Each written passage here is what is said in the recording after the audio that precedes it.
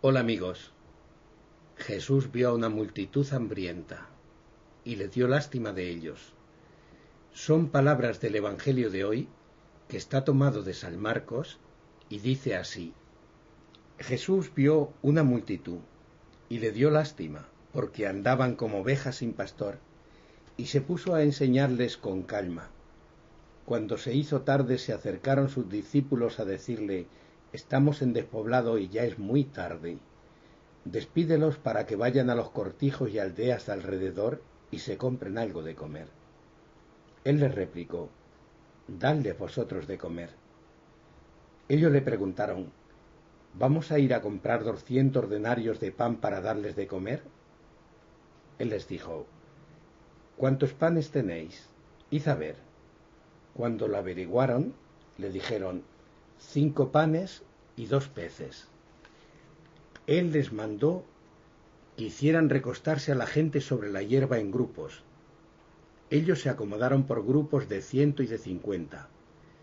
Y tomando los cinco panes y los dos peces, alzó la mirada al cielo, pronunció la bendición, partió los panes y se los dio a los discípulos para que se los sirvieran.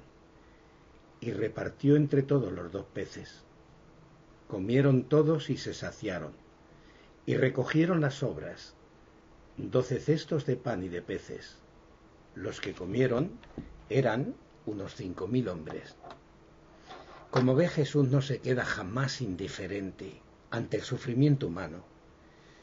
Nos dice este Evangelio que se conmovió por la multitud hambrienta que le acompañaba.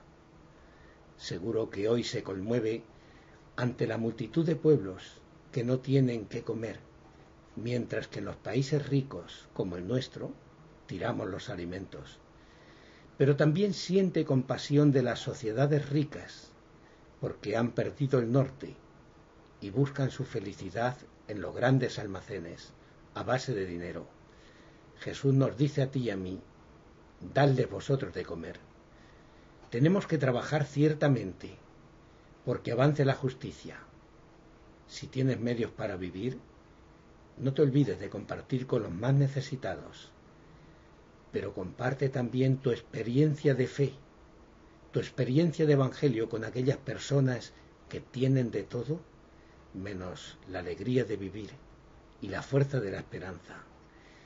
Diles que Dios sí existe y que los ama, que sólo Él puede saciar los anhelos más profundos de nuestro corazón un corazón siempre en búsqueda. Te espero el lunes en Diócesis TV.